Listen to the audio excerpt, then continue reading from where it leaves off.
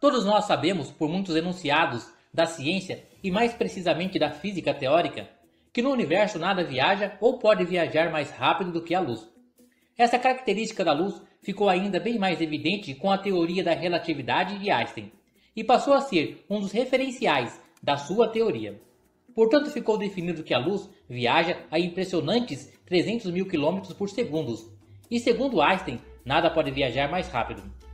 A maioria dos físicos concorda com essa lei da física moderna e não admitem a possibilidade de algo vir superar essa velocidade.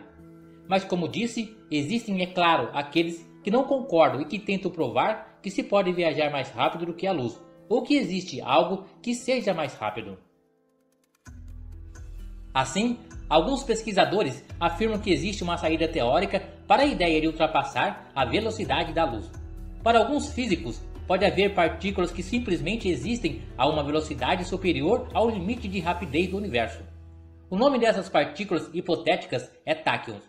E a ideia funciona porque, segundo os físicos, a teoria da relatividade não faz restrição a objetos que sejam sempre mais velozes do que a luz.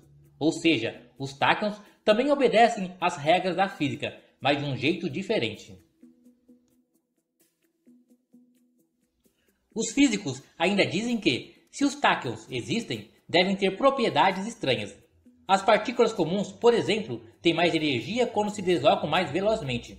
Os táquions teriam menos energia. Dessa forma, se um deles perder energia, será acelerado.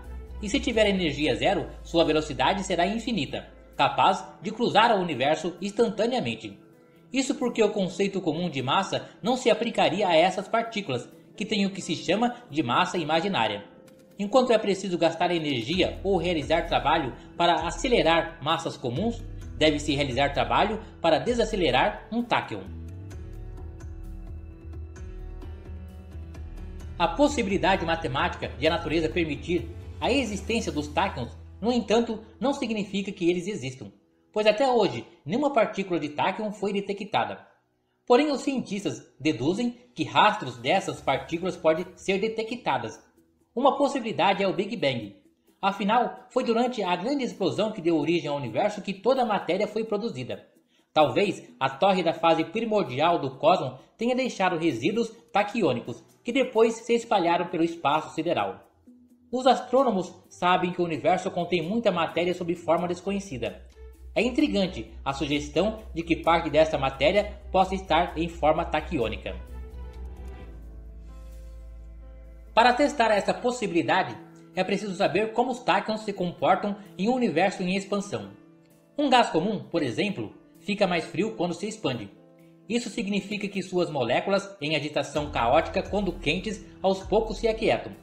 De forma semelhante, um gás taquiônico também perderia energia, mas como ele respeita as regras da física do avesso, ficaria ainda mais acelerado. Assim, conforme se aquece ao longo da expansão, quando chega a energia zero, a velocidade dos táquions se torna infinita e as partículas deixam de existir. Esse desaparecimento súbito pode ser entendido com a ajuda de diagramas especiais de detecção de táquions, e que sugerem que os táquions desaparecem por conta da alta velocidade que executam. Assim, viajando bem mais rápido do que a luz, eles viajam no tempo, deixando de existir nessa época e aparecendo no passado ou no futuro. No gráfico do quadro anterior, o táquion aparece em mais de um lugar ao mesmo tempo. Isso acontece porque, ao se quebrar a barreira da velocidade da luz, segundo a teoria da relatividade, criam-se paradoxos temporais, Nesse caso, um observador que tivesse visão de visualizar uma partícula como essa, veria essa partícula simplesmente aparecer do nada, assim como também desaparecer do nada. Porque a velocidade com que os nossos olhos captam as imagens está dentro do limite da velocidade da luz. De acordo com a relatividade, o tempo passa mais devagar para quem está em movimento. O efeito é infinitesimal a velocidades cotidianas, mas ele existe. Se esse movimento for a uma velocidade estonteante, próximo a 1 bilhão de quilômetros por hora, o diagrama revela algo assustador.